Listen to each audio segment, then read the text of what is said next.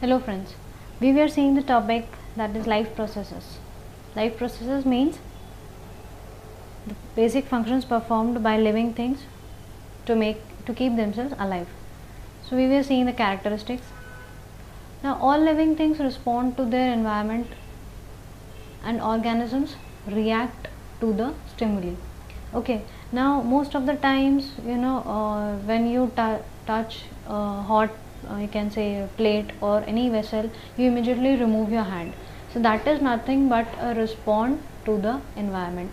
Or you can say you uh, during heat or you can say during the temperature of hot temperature of environment mostly you prefer to stay in the house. So that is nothing but uh, the living organism respond or you uh, you can say also next thing is that you perspire you can say you, you sweat a lot in the uh, you can say in the summer season. So that is nothing but also an response to the environment. So light temperature odor sound gravity heat water pressure all these are nothing but you can say a response is given to uh, given by the living organisms to all these types of changes uh, you can say uh, whatever optimum level of things are required. That means optimum temperature optimum you can say you can smell the fragrance as well as or bad odor. So that is nothing but a response which is uh, you can see observe in the living things. Now living organisms grow. You can see a horse that maybe you can see of uh, you can say of uh, 3 or 2 years. So and after when it grows what happens is uh, suppose after 10 years you can say it grows in the size.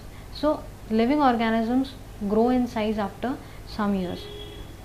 Now living organisms undergo development also. It may be physical it may be mental it may be emotional okay? Any so all these types of development are seen in the living organism. An example can be an infant develops into a whole individual okay? So that is an example of an that is another example of living things.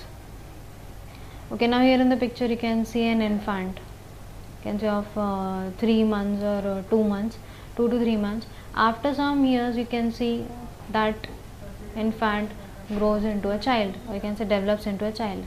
After some years it becomes a teenager you can say. Okay then after some years he becomes an adult. So this is nothing but a what you can say the total development of an infant to uh, you can say adult individual. So this is a, another important property or you can say another important function uh, you can say life process of living things. Now living things adapt to their environment through evolution. Now adaptation means a process that enables an organism to better suited their environment.